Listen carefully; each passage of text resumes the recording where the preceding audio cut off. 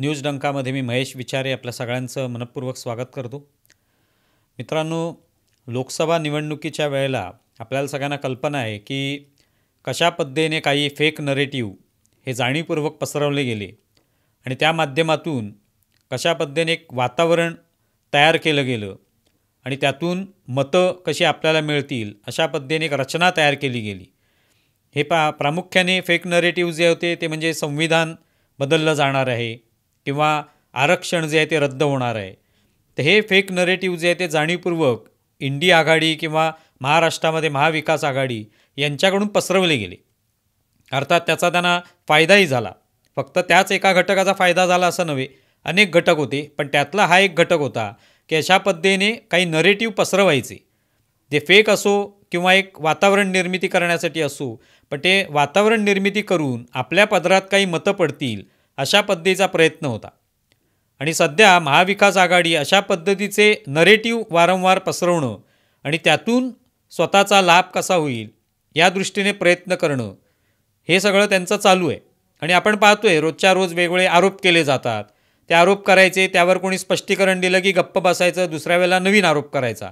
हे सातत्याने सुरू असतं. त्यातून एक प्रकारे आपण कसं खरं बोलतो आहे आणि हे अमुक हे सरकार की अमुक त्यातले नेते हे कसं खोटं बोलत आहेत हे सांगायचं तात्पुरतं ते लोकांना खरं वाटतं. आणि नंतर मात्र जेव्हा त्यातलं सत्य समोर येतं तेव्हा नवीन काहीतरी आरोप करायचा. अशा पद्धतीने एक तंत्र जे आहे ते महाविकास आघाडी इंडिया आघाडी यांनी आत्मसात केलेलं आहे आणि त्याचा उपयोग त्यांनी लोकसभेत केला. आता विधानसभेमध्ये सुद्धा ते अशा पद्धतीचे प्रयोग करतायत. शुक्रवारी अशाच पद्धतीची एक बातमी जी आहे ती समोर आली.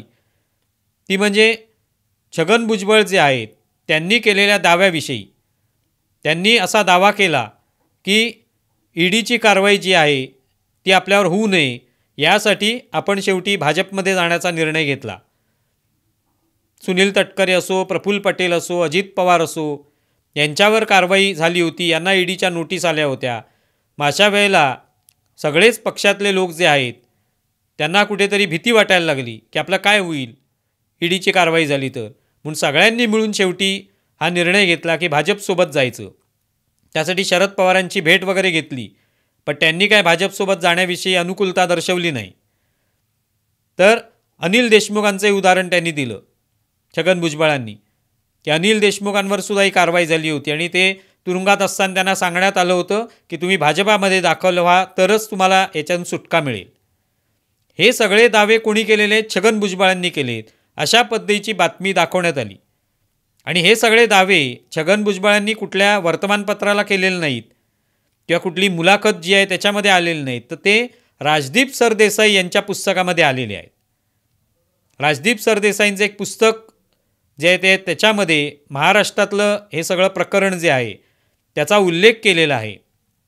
आणि तो दावा छगन भुजबळांनी राजदीप सरदेसाईंकडे केला. अशा पद्धतीचा दावात राजदीप सरदेसाईंनी करत ते पुस्तक जे आहे ते लोकांपुढे आणलेलं. आहे आणि त्याच्या माध्यमातून त्यांनी हे सांगण्याचा प्रयत्न केला आहे की छगन भुजबळ यांनाही भीती वाटत होती म्हणून ते भाजपामध्ये गेले.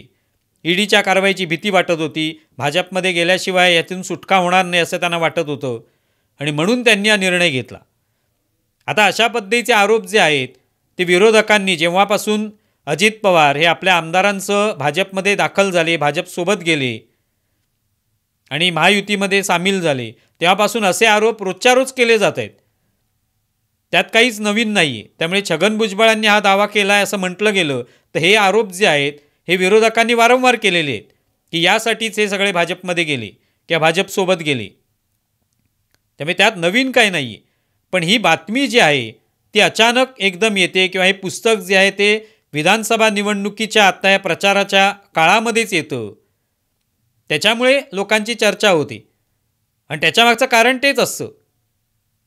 जर हे पूर्ण पुस्तक जे आहे ते दोन हजार चोवीस इथपर्यंत झालेला हा जो काय महाराष्ट्रातला खेळ आहे महाराष्ट्रामध्ये जे काय राजकारण झालं त्यावर प्रकाश टाकणारा असा असं हे पुस्तक आहे किंवा असं हे लेखन त्यांनी केलेलं आहे राजदीप सरदेसाई यांनी. तर ते अचानक आत्ता येतं. त्याविषयी निश्चितपणे लोकांच्या मनामध्ये चर्चा होणार किंवा विचार येणार की आत्ताच का आलं पुस्तक? बरं त्यातला फक्त छगन भुजबळांचा हा जो काय भाग आहे तो फक्त समोर येतो. त्याची चर्चा व्हायला लागते. आणि ती चर्चा झाल्यावर प्रामुख्याने ती बातमी जी आहे ती लोकसत्तामध्ये प्रसिद्ध होते. लोकसत्ताच्या पहिल्या पानावरती बातमी येते की छगन भुजबळ यांच्या दाव्यामुळे नवीन वादळ निर्माण झालं. आणि त्याच्यात छगन भुजबळ असंही म्हटल्याचं म्हटलेलं आहे लिहिलेलं आहे की मी ओबीसी असल्यामुळे माझ्यावरही कारवाई झाली. मी कदाचित उच्चवर्णीय असतो तर माझ्यावर कारवाई झाली नसती. असाही दावा छगन भुजबळांनी केल्याचं त्याच्यात म्हटले पण गमतीची गोष्ट म्हणजे जेव्हा छगन भुजबळ यांना विचारण्यात आलं तर ते म्हणाले मी अशा पद्धतीची कोणतीही मुलाखत दिलेली नाही. जर राजदीप सरदेसाई यांनी हा दावा केलेला आहे की छगन भुजबळ त्यांच्याशी बोलताना असं म्हणाले तर तशा पद्धतीची एखादी मुलाखत समोर यायला पाहिजे होती. ती काही कुठे आलेली नाही. म्हणजे ही काही मुलाखतीतला भाग उचलून पुस्तकामध्ये टाकलेला आहे. ती मुलाखत प्रसिद्ध झालेली आहे कधी. तर अशी मुलाखत जर प्रसिद्ध झाली असती तर यापूर्वीच हे लोकांना माहिती असतं की छगन भुजबळ असं असं म्हणाले. भाजपसोबत जाण्यामागचं कारण काय? याविषयीचा गौप्यस्फोट त्यांनी आधीच केलेला असता तर ते आधीच लोकांना कळलं असतं. पण ते आता कळतं याचा अर्थ कधीतरी मुलाखत झाली असेल ती. पण ती मुलाखत काही समोर आली नाही. राजदीप सरदेसाई हे स्वतः एक टी व्ही पत्रकार आहेत. त्यामुळे ते जेव्हा जेव्हा राजकीय पक्षांच्या नेत्यांशी बोलतात तेव्हा त्याच्या थेट मुलाखतीच होतात. त्या मुलाखती प्रसिद्ध केल्या जातात. लाईव्ह मुलाखती असतात काही रेकॉर्डेड असतील. पण त्या प्रसिद्ध होतात त्यातून मग जे काही दावे असतील नेत्यांचे ते समोर येत असतात. इथे मात्र जणू काही छगन भुजबळ आणि राजदीप सरदेसाई यांच्यात अनौपचारिक गप्पा झाल्या खाजगीत गप्पा झाल्या. आणि त्या गप्पांमधला सगळा भाग जो आहे तो पुस्तकात प्रकाशित करण्यात आला. असंच वाटतंय. आता ते तरी खरं आहे की नाही माहिती नाही आपल्याला. ते राजदीप सरदेसाई आणि छगन भुजबळ हे ठरवतील. छगन भुजबळ म्हणालेलेच आहेत की मी हे पुस्तक वाचलेलं नाही अजून पण जेव्हा वाचेन तेव्हा मी माझ्या वकिलांना देणार आहे ते. आणि त्याच्यातले दावे जे आहेत ते किती खरे आहेत खोटे आहेत ह्याचं मी सगळं प पाहणी करणार आहे. आणि त्यानंतर मी कारवाईसुद्धा करीन जर ते सगळे खोटे असतील तर. आता राजदीप सरदेसाई अशा पद्धतीचे अनेक आरोप करत असतात नेहमीच. वेगवेगळ्या पद्धतीचे आरोप त्यांनी यापूर्वी केलेले आहेत. आणि बऱ्याच वेळेला त्यांनी माघारही घेतलेली आहे माफी मागितलेली आहे. आणि त्यांचे दावे खोटे असल्याचंही अनेक वेळा समोर आलेलं आहे. त्यामुळे म्हणजे राजदीप सरदेसाई दावा करतायत तो खरा आहे हे त्यांना आता सिद्ध करून दाखवावं लागेल. उद्या छगन भुजबळ यांनी प्रचारानंतर किंवा निवडणुकीनंतर जर काही पाऊल उचललं तर ही मुलाखत खरी आहे त्यांना दाखवावं लागणार आहे. ते बघूया काय होतंय ते. पण तुर्तास या ठिकाणी बातमी अचानक एकदम येणं आणि सकाळी आपल्याला सगळ्या चॅनलवर त्याचे छोटे छोटे भाग छगन भुजबळांनी केलेल्या दाव्यांचे समोर यायला लागतात. आणि नंतर दिवसभरात दुपारनंतर ती बातमी गायब होऊन जाते. इतकी जर महत्त्वाची बातमी असेल इतका महत्त्वाचा दावा खळबळजनक असेल तर ती बातमी कायम चालू राहायला पाहिजे होती. पण ती काही समोर येत नाही. सुरुवातीला काही वेळ असते छगन भुजबळांची प्रतिक्रिया झाली राजदीप सरदेसाईंची प्रतिक्रिया झाली की त्यानंतर बातमी गायब होते. आणि ही सगळी एक इकोसिस्टीम ठरलेली आहे की अशा पद्धतीने एक नरेटिव्ह सेट करायचं एक बातमी पसरवायची त्याची चर्चा घडवायची. आणि अर्थात महायुतीतल्या कोणाविरुद्ध ती बातमी असेल तर महाविकास आघाडीमधले ठरलेले कलाकार जे आहेत ते मीडियासमोर येणार. मग संजय राऊत आले बारामतीच्या मोठ्याताई सुप्रियाताई सुळे त्यासमोर आल्या जितेंद्र आव्हाड आले अनिल देशमुख आले यांनी भराभर आपापल्या प्रतिक्रिया दिल्या. सुप्रिया सुळेंनी लोकसत्ताच दाखवला. त्या बघा लोकसत्तामध्ये बातमी प्रसिद्ध झालेली आहे.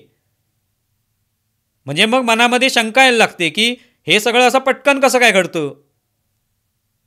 एखादी बातमी प्रसिद्ध होते ती बातमी प्रसिद्ध झाल्यावर लगेच त्याची चर्चा होते लगेच त्याच्यावर प्रतिक्रिया येतात आणि नंतर दुपारनंतर ती बातमी गायब होते किंवा त्याची चर्चाच होत नाही. हे कसं काय होतं? म्हणजे थोडक्यात हे कुठेतरी नरेटिव्ह पसरवण्यासाठी एक वातावरण निर्मिती करण्यासाठी कोणाला तरी टार्गेट करण्यासाठी हे सगळं चाललेलं हे लक्षात येतं. बरं लोकसत्ताची जी बातमी आपण पाहिली तर बातमी लिहिण्याचा एक प्रकार असतो पद्धत असते. की जर हा दावा छगन भुजबळ यांनी केलेला आहे असा दावा कोण करतंय? तर राजदीप सरदेसाई करतायत. हा काय छगन भुजबळ यांनी लोकसत्ताशी केलेला दावा नाही. आहे लोकसत्ताशी ते बोललेले नाही आहेत हा दावा राजदीप सरदेसाई यांनी मांडलेला आहे आपल्या पुस्तकामध्ये. की असे छगन भुजबळ मला म्हणाले मग राजदीप सरदेसाईंच्या पुस्तकात असा दावा केला आहे हे कुठेतरी त्या बातमीमध्ये यायला पाहिजे की नाही? पण पहिल्या पानावर राजदीप सरदेसाई यांच्या नावाचा किंवा त्यांच्या पुस्तकाचा उल्लेखही नाही. तो उल्लेख कुठे येतो? तर उर्वरित बातमी जी मागच्या पानावर जाते त्या बातमीमध्ये राजदीप सरदेसाईंच्या पुस्तकाचं नाव असतं की या पुस्तकात हे छापलेलं आहे. पण पहिल्या पानावर असं वाटतं जणू छगन भुजबळ यांनीच कुठेतरी हा दावा केला कुठल्याही चॅनलला बोलताना केला लोकसत्ताशी बोलताना केला किंवा भाषणामध्ये केला. आणि लोकांना खरंच वाटणार ते की हा छगन भुजबळांचाच दावा आहे. त्याचं जे मथळा जो आहे त्याच्यातही छगन भुजबळांच्या दाव्याने नवे वादळ असं म्हटलेलं आहे. आता छगन भुजबळांनी दावा कधी केला आहे कुठेही केलेला नाही. तो राजदीप सरदेसाई यांचं म्हणणं आहे की असा दावा छगन भुजबळांनी केला आहे मग ते कुठेतरी पाहिजे की नाही त्या बातमीमध्ये? ते उर्वरित बातमी जी मागच्या पानावर आहे त्याच्यात ते येतं. मग याच्यात असं वाटायला लागतं की हे जाणीवपूर्वक घडवलेलं आहे का? जाणीवपूर्वक हे कुठेतरी असं तयार केली आहे का बातमी? बरं बातमी जी आहे त्याच्यामध्ये फक्त छगन भुजबळांनी केलेले दावेच दिलेले आहेत. छगन भुजबळांची प्रतिक्रिया त्याच्यात कुठेच दिसत नाही. आता ती त्यांनी दिलेली आहे तीसुद्धा लोकसत्तामध्ये प्रसिद्ध होते की माहिती नाही. त्यामुळे हा प्रश्न निर्माण होतो. की ठीक आहे इकोसिस्टीम आहे महाविकास आघाडीला तर आता ही सवय लागलेली आहे की अशा पद्धतीने बातम्या पसरवायच्या त्यावर बोलायचं त्यावर आरोप करायचे आणि एका माणसाला लक्ष करायचं. नंतर मग दुसरं कोणावर तरी आरोप करायचे.